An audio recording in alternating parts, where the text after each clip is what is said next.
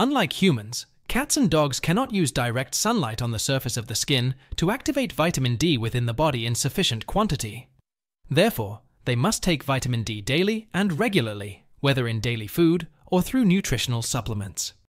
Calfos PET. Each pill contains 500 international unit of vitamin D3 with 231 milligrams of calcium.